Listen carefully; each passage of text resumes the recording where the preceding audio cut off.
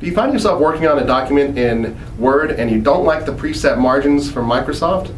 Well, this is Paul, one of the techs at Micro Center, and today we're going to show you how you can go in and set custom margin settings. Let's get started. Okay, so to get started, we want to go ahead and open up a Word document. Let's open up Word.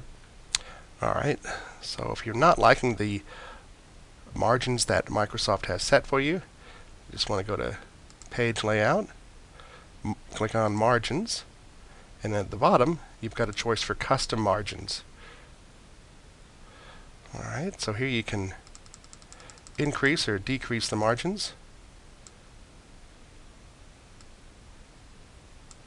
Go ahead, you can totally customize your document.